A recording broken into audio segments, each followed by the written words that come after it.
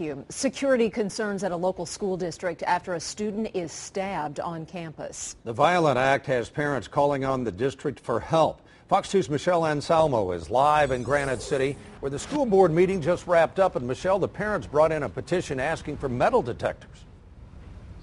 That's right, Tom. And the school board told those parents that they'll take that petition for metal detectors under advisement. So really, it's just under consideration at this point.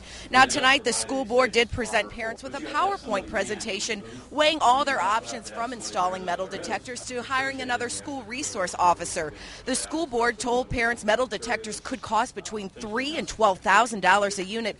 Plus, they need to pay staff to monitor the metal detector booths. Superintendent Harry Briggs says the district simply can't afford that that expense. But parents who collected the 230 signatures for the petition fired back, saying the cost should not outweigh their kids' safety at the high school. 17-year-old Nick DeRoos was stabbed with a pocket knife in the foyer of the gym last month. 18-year-old Cody Silverly is charged with that attack. DeRoos says he'd like to see metal detectors installed when he returns back to school in the fall, but parents worry the district will do nothing because school officials consider this an isolated incident when the weapons start getting brought into it, that's when things start getting scary. You know, people should, should start getting worried. If not metal detectors, I want some kind of extra security where the little wand